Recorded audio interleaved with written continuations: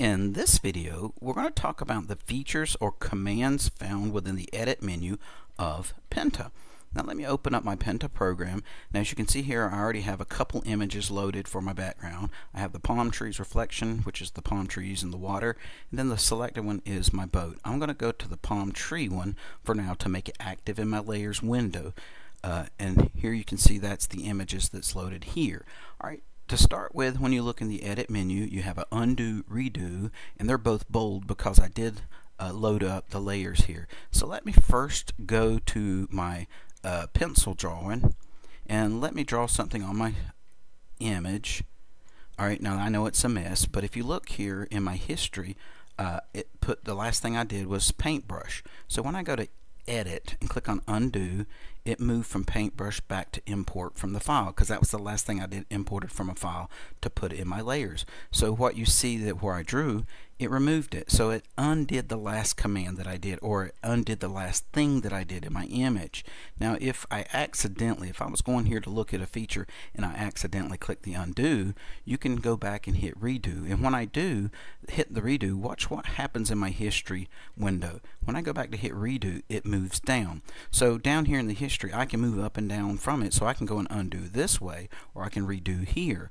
But since we're focusing on the commands and features found in the edit menu, I'm going to stick mostly with the commands you see here. Now for most of these, except for the palette, and that's a sub menu, and I'll get to that in a moment, each of these commands has shortcut keys. But for the sake of the video, I'm going to go with point and click so that you can see what happens you can immediately see the results on your screen.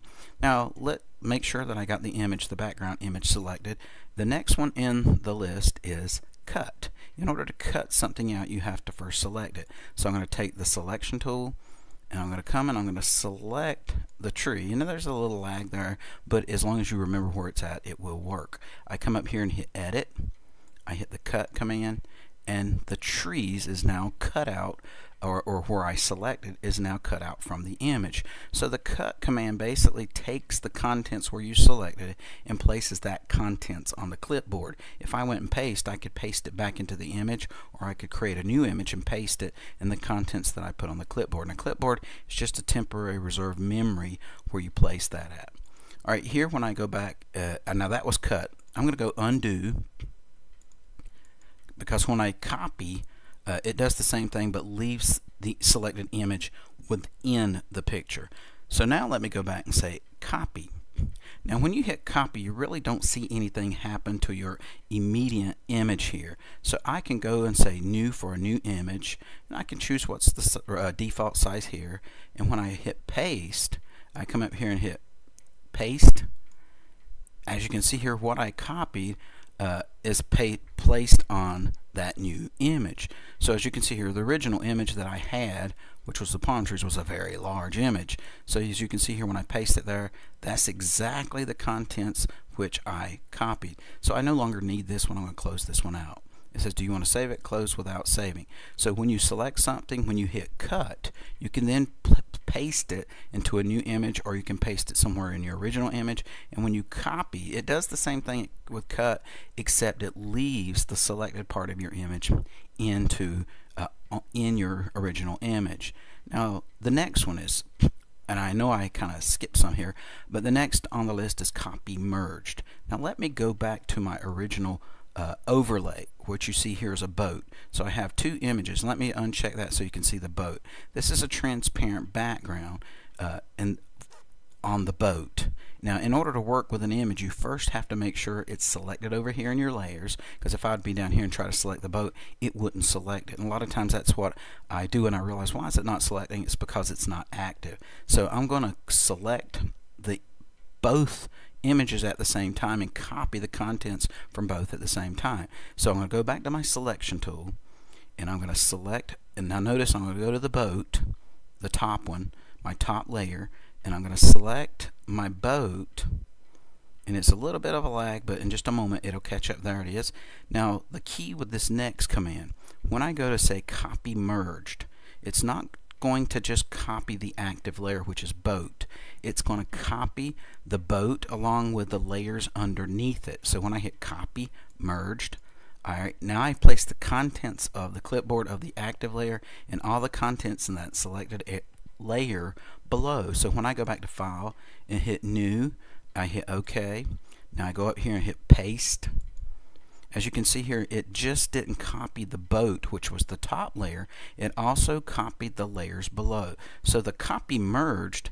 Uh, you don't have to go and merge all the layers and then copy and paste. It functions as that feature alone. So that's a very powerful function the copy merged is.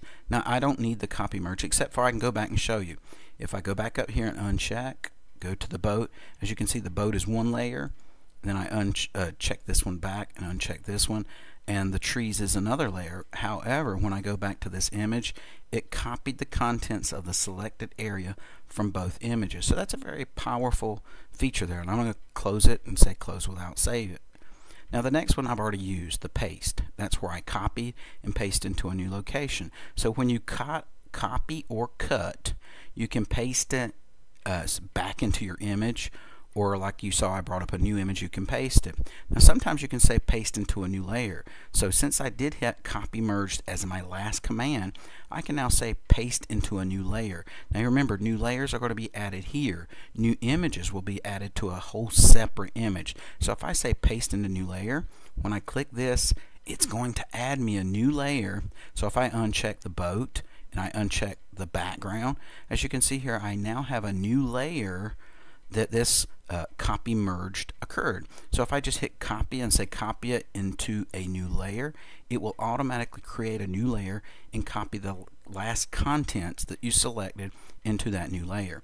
Now I'm going to go and uncheck this one, recheck this one, this one, and I don't need that copy new layer, so I can delete it from my layers uh, window. The next thing, the last merge that I did was the copy merged now the next feature is copy into a new image. Remember this is your new image. This is your new layers. And on my website, if you don't remember parts of the windows, I have an image for you and I'll bring that up. If you can't remember which is which, this is the layers window, this is the image window, this is your history pane, this is your color palette, your tool palette, and your toolbars. So if you forget, I'll provide a link below. But now watch this right here. The last thing I did was copy merged, and I say paste into a new image it now added a new image rather than a new layer. So this is like I can go back and forth between the two layered I have or my single uh, image that contains both layers. So uh, these work very similar. This one creates a new layer. This one creates a new image. And I didn't have to go file new. So let me go ahead and close this one out, close without saving. The next thing on my list is select all. Now, currently right now, I don't even have the boat or anything selected in the image. And this might be hard to see. Well, I do have up here in the corner. There's a little selection. But when I hit the select all, it's going to select the entire image, putting the dotted line all the way around the image. So when I hit select all, you can see it across the top. It's hard to see because of the dark outline. It's across the bottom and it's across the side. So it selected the entire image of the selected image. So when I hit select all, make sure you have the selected layer that you want to select or if I was trying to select all the images for the palm trees, it wouldn't be selected all of those. It's only selecting the whole image of the boat. If I wanted to select all, I'd click on palm trees and go select all. So it selects the entire image of the active image. The next thing is deselect all. So if I accidentally clicked on the select all, I click this and the little dotted lines went away. There's nothing now selected on the active image, which is the boat 2 image. The next one is our delete selection. So let me go back and add a selection. So I can select like, let me go back to the palm trees. I can select where the palm trees were. There's a little lag in it, but as long as you can remember your starting point and ending point. Now I can press the delete key on the keyboard, but since we're using the menu, I can say delete or deselect or delete the selection. So when I do that, it deleted the selective of the active image. So there is my delete the selection. The next one, it says to fill a selection. So as you can see here, the, the top color in your color palette, which is your primary color, it will fill it with the primary color. So if I wanted black here, I could go to then to edit and say fill selection because that's the fill bucket. The fill bucket is like the fill bucket here where I can click here, click the color, click on that and it fills it up. But within the edit menu I can do it all at one time. I can say fill the selection and that selected area where I deleted it out would be filled with the color of the primary color. And you might say, well, why would you want to do that? You know, if I've got an image or something, I might want to delete out a little uh, long rectangle and then come in here and type my text. So that's a good feature to have. Let me go back and undo. Uh, let me undo until where there's everything back like it should. Alright, now I'm back to my original image of my palm trees. The next one is to invert a selection. So I'm going to go back, create a selection. It's a little bit laggy here. And it might be because I have so much stuff running in the background. But as you can see, I've got my selection. The invert selection is going to invert the selection as the name implies. What that means is where I have this area selected, when I invert it, everything else will become selected except this area. So if I wanted to uh, unselect a certain object, you know, I'm just using the square and rectangle. I could go and freehand an object like I outlined the tree, invert my selection, and everything except for the tree will be selected. So let me go to Edit and say invert my selection. Now as you can see here, this is a clear box on the palm trees. This is not selected, but everything else is. So that way if I press delete, this area will not be deleted. All the contents around it would be deleted. So if I outlined a tree, say invert the selection, then I hit delete, everything around the tree would be deleted and the tree would remain in the image. Let me go and hit undo. Let me hit undo again and that got rid of my selection. Alright, the next one in the edit menu is the palette submenu. Now this is not a command on itself. I, when I click this, it's not going to do anything. As you can see here, there's an error indicating that there's additional commands in this submenu. Now this is where you can change your palette. This is the default palette, and you can uh, create a folder on your system and I went to my documents and I named it Pinta and then I said palettes and I've added some additional palettes. Let's say that for example you're working with an image and your your colors that you're using you're sporadically going around or it may not be a color in this list so you have to go and add colors to it. Here's where you can customize your palette according to the image that you're working with and then you can load the palette by hitting open and I'll do that. Uh, I can say open and when I go to my documents, I go to Pinta. These are folders that I created. You don't have to use these. I automatically save the default so that way I can change back and forth very quickly. But there's another way that you can do that, that up here. If I want to go to like to sample text that I've created, as you see I did that yesterday when I worked on the website. Now there's two different formats.